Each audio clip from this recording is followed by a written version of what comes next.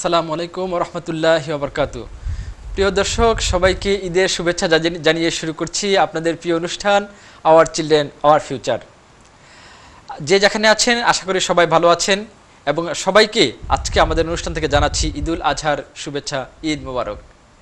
প্রিয় দর্শক, আপনারা জানেন এটা একটা প্যারেন্টিং শো এবং এখানে আমরা প্যারেন্টিং রিলেটেড আলোচনা করে থাকি এবং আমাদের একজন গেস্ট থাকেন যিনি গত বিশ বছর ধরে প্যারেন্টিংয়ের উপর আমাদের কমিউনিটিকে সেবা দিয়ে যাচ্ছেন। আজকে আমরা এই প্যারেন্টিংয়ের পঞ্চম সেশানে আমরা এসে উপনীত হয়েছি এবং তেরোটা সেশনের আজকে পঞ্চম সেশন এবং পরবর্তীতে আমরা আরও বাকি সেশনগুলো কন্টিনিউ করব এবং এই আজকের সেশনের একটা গুরুত্ব- গুরুত্বপূর্ণ টপিক নিয়ে আজকে আমাদের আমরা আলোচনা করব আমাদের অতিথির সাথে। শুরুতেই আমি সুক্রিয়া জ্ঞাপন করে নিচ্ছি মহান রবুল আলমিনের দরবারে, যিনি আজকে আমাদেরকে আবার দীর্ঘ এক সপ্তাহ পর আমাদের অনুষ্ঠান শুরু করার তৌফিক দান করেছেন। প্রিয় দর্শক, আমি দেরি না করেই চলে যাচ্ছি আমাদের অতিথির কাছে, যে আপনারা জানেন আজকে আমাদের নিয়মিত অতিথি হিসেবে যিনি থাকেন, ডক্টর আব্দুল বারি, বিশিষ্ট প্যারেন্টিং কনসালটেন্ট এবং কমিউনিটি ব্যক্তিত্ব। যে আমি শুরুতেই চলে যাব যে আমাদের অতিথির কাছে যে আজকে যে উনি কেমন আছেন এবং ওনার ঈদ কেমন হয়েছে। আলাইকুম সালাম ঈদ মোবারক আপনাকে এবং দর্শক বৃন্দকে ঈদুল আজহার যে বিরাট একটা সিগনিফিক্যান্স আছে। আমরা যদি এবছর করোনা ভাইরাসের প্যান্ডেমিকের লকডাউন মোটামুটি কমে গেছে তারপরে ওই সিস্টেমের কারণে আমরা যেভাবে পালন করি হয়তো করি নাই কিন্তু তারপরেও এটা ইব্রাহিম আলাহ ইসলামের নিয়ে আসা একটা সুন্না আমরা অবলম্বন করেছি এবং আমরা কুরবানি দিয়েছি অনেকে। তারপরে কেউ মসজিদে নামাজ পড়েছেন কেউ হয়তো ঘরের মধ্যে পড়েছি আমরা পার্কেও পড়েছে। তো ঈদ অলওয়েজ আমাদের জন্য একটা মহান আনন্দ নিয়ে আসে এবং শিক্ষা নিয়ে আসে। এই জন্য দর্শকবৃন্দকে আমার অভিনন্দন, আপনাদের সবাইকে ঈদ মোবারক এবং আমরা আশা করি এবং দোয়া করি যাতে আমাদের ভবিষ্যৎ প্রজন্ম ইব্রাহিম আলাহ ইসলামের যে ত্যাগ এবং কুরবানি, তার তার এবং তার ছেলে ইসমাইল আলাহ ইসলাম এবং তার বংশধর ছিলেন আমাদের মোহাম্মদ রসুল্লা সাল্লাহ ইসলাম যাতে আমরা মুসলমান হিসাবে নিজেদের দুনিয়াতে মানিজ্যত নিয়ে বেঁচে থাকতে পারি এবং আখেরাতে আমাদের কল্যাণ হয়। এটা আমি সবার সবার জন্য আল্লাহ তালার কাছে দোয়া করছি। আমিন। প্রিয় দর্শক, আশা করি আপনারা সবাই ঈদের মুডে এখনও রয়েছেন এবং ঈদ উদযাপন করছেন আপনারা, আপনাদের ফ্যামিলি নিয়ে যে যেখানে আছেন। আজকে জাস্ট শুরুতেই আমি আপনাদেরকে জানিয়ে দিতে চাই যে আজকের আমাদের যে টপিক নিয়ে আমরা আলোচনা করব, আজকের টপিকটা হলো সম্পর্ক উন্নয়ন এবং পরিবার গঠন যে building relationship and family building যে প্যারেন্টিংয়ের অন্যতম একটা গুরুত্বপূর্ণ টপিক হচ্ছে যে সম্পর্ক উন্নয়ন এবং পরিবার গঠন, যে আমরা কীভাবে পরিবারের মধ্যে বাবা, মা, বাবা মার সাথে প্যারেন্টসদের সাথে, সন্তানদের এবং ভাই, বোন প্লাস দাদা, দাদি আরও এক্সটেন্ডেড যে ফ্যামিলি আছে, তাদের সাথে কীভাবে আমরা সম্পর্ক বিল্ড আপ করব এবং তা কীভাবে পরিবার গঠন করব, এই গুরুত্বপূর্ণ টপিক নিয়ে আজকে আলোচনা করবেন আমাদের অতিথি। তো শুরুতে আমি আমাদের অতিথিকে অনুরোধ করব যে তিনি যেন আজকে আমাদের এই যে সম্পর্ক উন্নয়ন এবং পরিবার গঠন নিয়ে আমাদের দর্শকদের উদ্দেশ্যে কিছু বলেন এবং তারপরেই আমরা হয়তো কোশ্চেনে চলে যাব। এবং যদি আপনাদের কোনো প্রশ্ন এবং পরামর্শ থাকে আপনারা আমাদের এই এই যে এখানে নাম্বার দেওয়া আছে নাম্বারে আমাদেরকে প্রশ্ন করে এবং পরামর্শ দিয়ে আমাদের প্রোগ্রামকে আরও সুন্দর করতে পারেন। আমি চলে যাচ্ছি আমাদের অতিথির কাছে। জি আপনাকে অনেক ধন্যবাদ। যদি আমাদের স্লাইড প্রথম একটা স্লাইড আছে যেখানে বিল্ডিং রিলেশন রিলেশনশিপ এটার ব্যাপারে বলা আছে ঈদ মোবারক আমি দিয়েছি সবাইকে। এবং এটা খুবই গুরুত্বপূর্ণ একটা টপিক বিশেষ করে পাইন প্যারেন্টিংয়ের ক্ষেত্রে। আমরা প্যারেন্টিংয়ের ব্যাপারে যে পাঁচটা কম্পোনেন্ট আমরা বলেছি প্রথম দিকে, সেটা হলো যে একজন ব্যক্তির শারীরিক, মানসিক ইমোশনাল আধ্যাত্মিক উন্নতি বাপ মার নিজেদের এবং ছেলে মেয়েদের যে প্রসেসটা এটা হলো প্যারেন্টিংয়ের মূল কথা। সার্বিকভাবে মানে একটা balanced human being physically mentally emotionally spiritually spiritually এরপরে যে মূল কথাটা আসে সেটা হলো মা বাবা এবং মা বাবার সাথে প্রত্যেকটা সন্তানের এবং ফ্যামিলির মধ্যে যে ইন্টারনাল রিলেশনশিপ এই রিলেশনশিপটা হলো মৌলিক। এখন কথা হতে পারে যে তারা তো ছেলের মেয়েরা তো আমাদের ছেলে মেয়ে তাদের সাথে আমাদের সম্পর্ক তো আছে। এটা এটা নিয়ে আলোচনার বিষয় কি আছে? আলোচনার দরকার এজন্য আছে যে একটা সন্তান জন্মের পর মা বাপ যেভাবে বাচ্চাকে আদর করেন, একটা নীরব নীরব মানে কান্না দিয়ে আসে দুনিয়াতে আর কি। তারপরে সম্পূর্ণ নির্ভরশীল, একটা, এক বান্ডল অফ ফ্লেশ ই আর কি ব্লাড নিজে কিচ্ছু করার যোগ্যতা নাই। সম্পূর্ণভাবে মানুষের বাপ মার উপর নির্ভরশীল হয়ে দুনিয়াতে আল্লাহ তাকে তাকে পাঠান। এবং এই সন্তানের প্রতি বাপ মার যে ভালোবাসা, মায়া, এটা আল্লাহ তালা আমাদের অন্তরের মধ্যে দিয়ে দিয়েছেন। এটা ন্যাচারাল বিশেষ করে মায়ের সাথে সন্তানের তো তুলনাহীন সম্পর্ক। আম্বিলিকাল কর্ড যে নয় মাস, সাড়ে নয় মাস মায়ের পেটে ছিল একটা সন্তান, বের হওয়ার পর আম্বিলিকাল কর্ড কেটে দিলেও মেটাফরিক্যালি যেটাকে বলা হয় রূপকভাবে মায়ের সাথে সন্তানের আম্বিলিকাল কর্ড থাকে তার মায়ের মৃত্যু পর্যন্ত। এবং মায়ের মৃত্যুর পরেও সন্তান মাকে ফিল করে, স্বাভাবিক এটা বাপের সাথেও, কারণ বাপ এবং মা মিলেই সন্তান দুনিয়াতে আসছে। সেই হিসাবে জন্মের পরে থেকে যখন লুক আফটার করা হবে, তখন তো নির্ভরশীল, আদর করবে, বাচ্চারা হাসলে আমাদের হাসি লাগে, বাচ্চারা কান্নাকাটি করলে মন খারাপ হয়, তাদের ক্লিন করা, এগুলো ন্যাচারাল প্যারেন্টহুড যেটা আমি বলেছি, সেটা আমরা করব।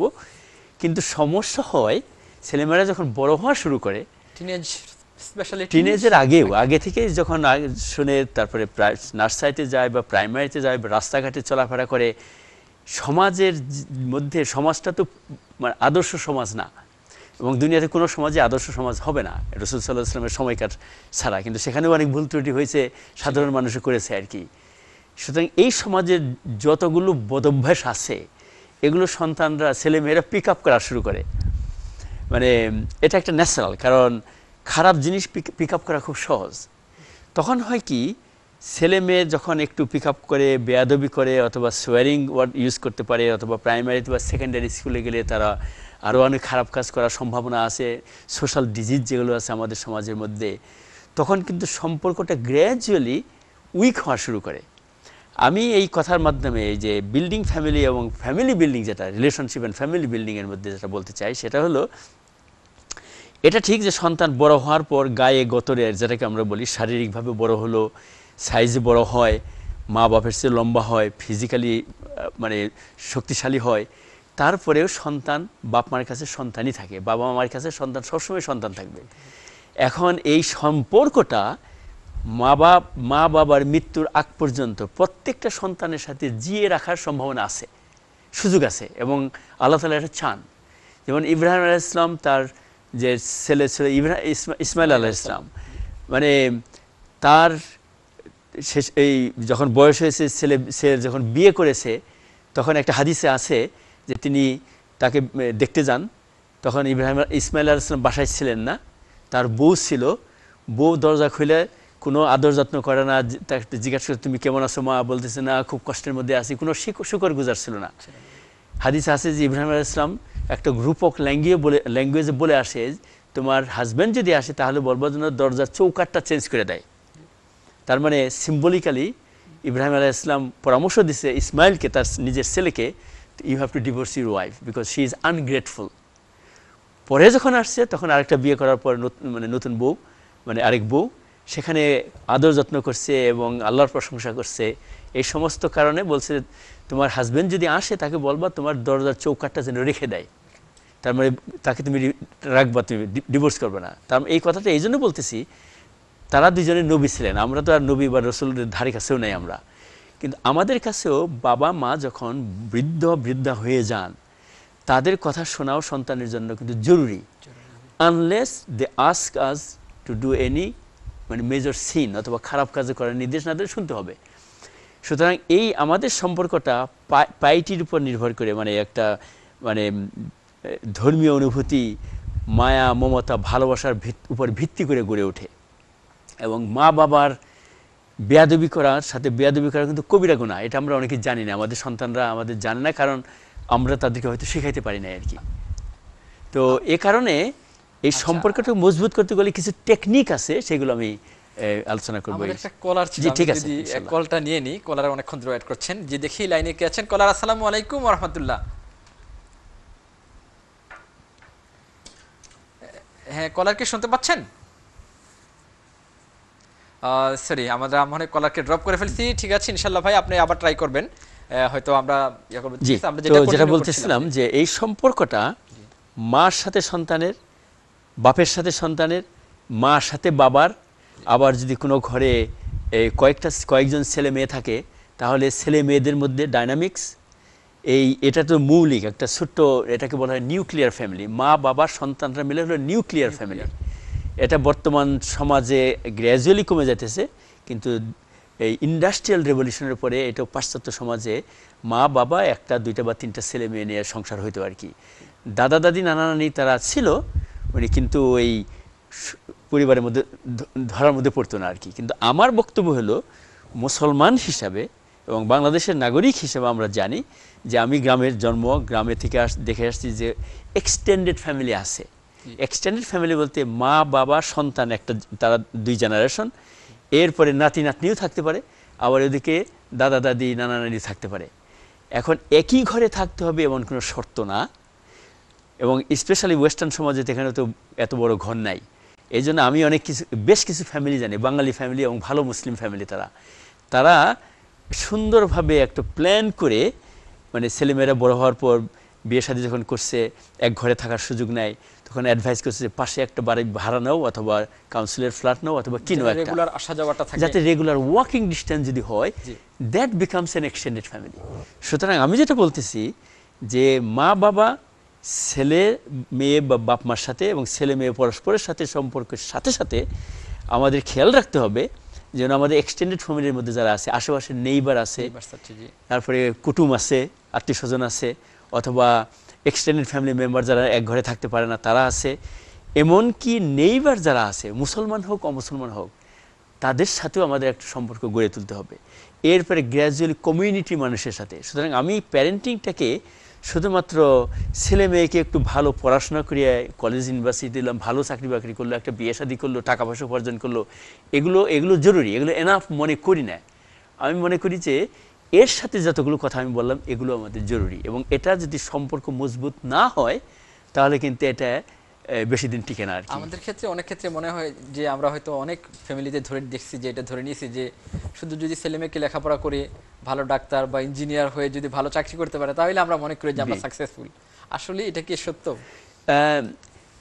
দুনিয়াবী দৃষ্টি- দৃষ্টিকোণ থেকে প্রত্যেকটা ছেলে মেয়েকে একটা ক্যারিয়ারের দিকে তৈরি করতে হবে।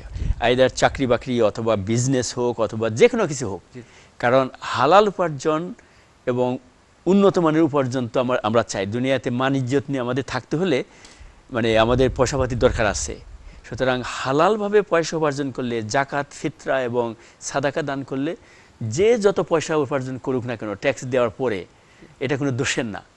সুতরাং এটাকে দোষের বলব না আমি কিন্তু দোষের হবে তখন যখন? যখন শুধু এইটার মধ্যে নিয়ন্ত্রিত মানে কেন্দ্রভূত করা হয় তাদেরকে আদব আখলাক চরিত্র ইসলাম কারণ আমরা ইসলামের ইসলামের অনুসারী। তারপরে অন্য জাতির সাথে কীভাবে মেলামেশা করতে হবে? অমুসলমানদের সাথে কীভাবে মেলামেশা করতে হবে? যারা নামাজ কালাম পড়ে না, তাদের সাথে কীভাবে ব্যবহার করতে হবে? সবার সাথে কীভাবে সুন্দর, সাবলীল ব্যবহার করতে পারি? এইগুলো যদি শিক্ষা না দেয় তাহলে ওই শুধুমাত্র ডিগ্রি এবং ভালো ফ্যামিলিতে বিয়ে শাদী করার মধ্যে সীমাবদ্ধ রাখলে এটা পরিণতি ভালো নিয়ে আসে না আর কি। আমরা আসলে আমাদের একটা বিজ্ঞাপনে যেতে হবে। তার আগে জাস্ট আমি একটা ছোট্ট একটা প্রশ্ন আপনার কাছে করতে চাই যে আপনার তো আজকে যে টপিকে যে সম্পর্ক উন্নয়ন যে বিল্ডিং রিলেশনশিপ এবং ফ্যামিলি বিল্ডিং আসলে ফ্যামিলি বিল্ডিং এবং বিল্ডিং রিলেশনশিপ বলতে আপনি জাস্ট কি বুঝাইতে চেয়েছেন নাকি জাস্ট কোর জিনিসটা যদি আমাকে একটু বিজ্ঞাপন এটাকে একটা আমাদের দর্শকদের উদ্দেশ্যে বলতেন। হলো খুবই একটা গুরুত্ব দেওয়ার জন্য এটাকে আমি ব্যবহার করছি building relationship and family building পরিবার গঠন আমরা বাংলা যা একটা হলো রিলেশনশিপটা একটা মানুষের ধরা জানা দেখা যায় না। জি।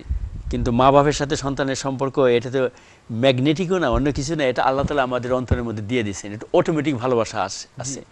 সুতরাং এই ভালোবাসাটা যদি জিয়ে রাখতে হয় তাহলে আমাদের প্রচেষ্টা করতে হবে মা বাবাকে সময় দিতে হবে কোয়ালিটি টাইম দিতে হবে সন্তানকে মা বাবার কথা শুনতে হবে সংসারের কাজে সামষ্টিকভাবে অংশগ্রহণ করতে হবে তাহলে এবার সম্পর্ক বৃদ্ধি পাবে।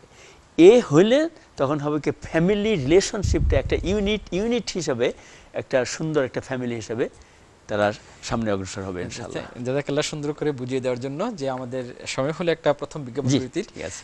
প্রিয় দর্শক আপনারা দেখছেন আপনাদের প্রিয় অনুষ্ঠান আওয়ার চিলড্রেন আওয়ার ফিউচার সময় হলো একটা বিজ্ঞাপন বিরতির। আমরা চলে যাচ্ছি বিজ্ঞাপন বিরতিতে। বিজ্ঞাপন বিরতি শেষে আবার ফিরে আসব আপনাদের প্রিয় অনুষ্ঠানে। ততক্ষণ পর্যন্ত আমাদের সাথেই থাকুন। আসসালামু আলাইকুম ওরহমতুল্লাহ বারকাতু